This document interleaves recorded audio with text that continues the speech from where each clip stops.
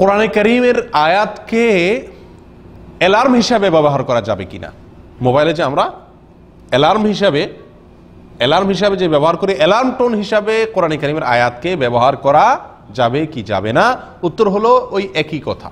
অর্থাৎ রিংটোন যেরকম রিংটোন হিসাবে যেরকম কোরআন করিমের আয়াতকে ব্যবহার করা যাবে না অ্যালার্ম টোন হিসাবেও কোরআন করিমের আয়াতকে কি করা যাবে না, ব্যবহার করা যাবে না। এটা কোরআনের অপমান, এটা কোরআনকে অপাত্রে ব্যবহার করা, এটা কোরআনকে অসম্মান করা, এটা কোরআনের অর্থ পরিবর্তন বা অজাগাতে আপনার বন্ধ করা এই নানান সমস্যা এবং শঙ্কা তৈরি করে। বিদায়, এটাও কি নাই? জায়েজ নাই। সবচেয়ে বড় কথা হলো কোরআনের এটা অসম্মান হয় এবং এই অসম্মানের ব্যাপারে সারা দুনিয়ার ওলামা প্রায় একমত। বিদায় এটা আমাদের করা উচিত নয়।